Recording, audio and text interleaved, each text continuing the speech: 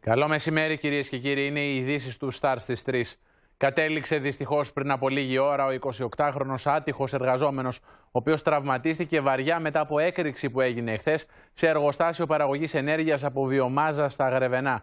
Παρά τις επίπονες προσπάθειες των γιατρών του νοσοκομείου Παπα-Νικολάου, ο άτυχος άνδρας πάλεψε αλλά δεν κατάφερε να κρατηθεί στην ε, ζωή. Πάμε ευθύς αμέσως στα Γρεβενά και την Μέρη Τζόρα. Μέρη, είσαι στο σημείο της ε, τραγωδίας να μας πεις τι έγινε και πώς έχασε ο άνθρωπος την ε, μάχη με τη ζωή. Αυτή η τραγική είδηση γέμισε θλίψη την οικογένειά τους, τους φίλους, τους συγγενείς, όλους τους εργαζόμενους εδώ στο εργοστάσιο ξυλίας. Ε, ο 28χρονος Κωνσταντίνος πραγματικά έδωσε μια σκληρή μάχη για να ζήσει. Δεν τα κατάφερε όμως. Όλα συνέβησαν χτες τέτοια ώρα, χτες στις 3 το μεσημέρι, όταν ξαφνικά μια έκρηξη έσπηρε το κακό. Μια έκρηξη στο υπόγειο τμήμα παραγωγής ενέργειας του εργοστασίου ξυλίας. Ε, ήταν μια δουλειά ρωτίνας για τον 28χρονο Εκεί εργαζόταν καθημερινά με ένα συνάδελφό του Ιταλό.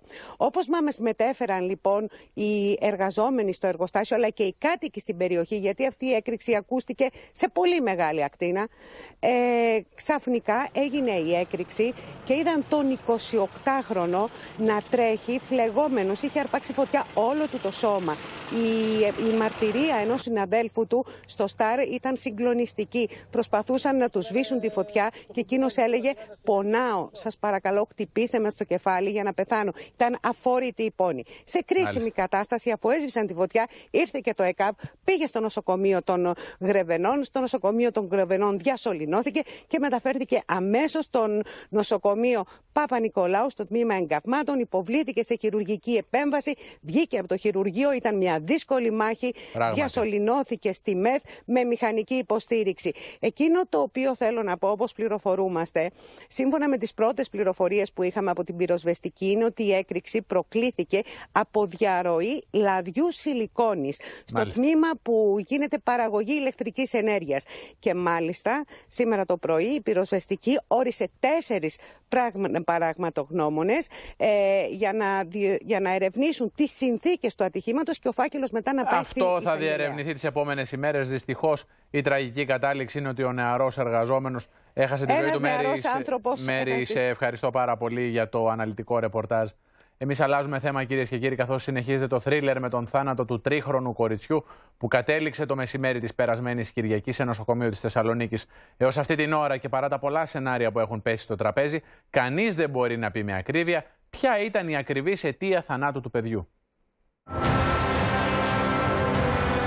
Παιδί μου πέθανε και δεν ξέρω τι έγινε. Θέλω να βρεθεί ό,τι και να είναι. Ο πατέρας της μικρής Κατερίνας, συντετριμένος, μιλάει στην εκπομπή Αλήθειες με τη Ζήνα, ζητώντας απαντήσεις. Απλά θέλω να μάθω κι εγώ γιατί πήγε το παιδί μου. Ενοσηλεύτηκε τόσες μέρες και θέλω να μάθω γιατί πήγε το παιδί μου. Μόνο αυτό. Θέλω να διοικηθεί και η ψυχή του παιδιού μου. Είναι ένα παιδί που θα μπορούσε να είναι ολονών. Κανένα πρόβλημα που να ήταν σε εξέλιξη γενικότερα δεν είχε τίποτα. Ούτε να παίρνει φάρμακα, ούτε τίποτα. Το παιδί ήταν υγιές κάτω. Ένα παιδί που ήταν τρία χρονών και έμοιαζε για πέντε, για έξι. Η περιπέτεια του παιδιού ξεκίνησε τη Μεγάλη Τρίτη όταν εισήχθη στο νοσοκομείο με πόνους, πρίξιμο στον αστράγαλο και χαμηλό πυρετό. Παρά την παρακολούθηση που είχε από τους γιατρούς, η κατάσταση του παιδιού επιδεινώθηκε χωρίς να μπορούν να εντοπίσουν την αιτία. Το φάγανε αδικα το παιδί. Τελείωσε. Τελείωσε. Αν δεν ξέρεις τι έχεις, δεν σε παρακαλάνε οι γονείς να το πάρουν το παιδί από εκεί, επειδή έχουν δυνατότητα να το πάνε κάπου καλύτερα και να σου απαντάνε εδώ είστε στα καλά χέρια. Όταν δεν ξέρεις, δεν είναι κακό να πεις Δεν ξέρω, θα πάμε σε ένα πιο εξειδικευμένο νοσοκομείο της χώρας. Τα έκανα έρανο αν δεν είχα. Αλλά, αλλά.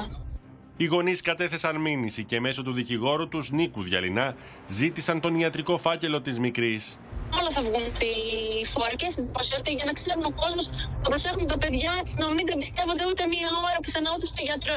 Είναι δυνατό να μην έχουμε τον ιατρικό φάκελο; Τον έχετε στα χέρια σας; Όχι μόνο θα ζητηθεί, εν ανάγκη θα κατασχεθεί. Έστειλα μία έγκριση στην ιατροδικαστή να προβεί σε εξειδικευμένες εξετάσεις σε ειδικά διαγνωστικά κέντρα και στην Ελλάδα και στο εξωτερικό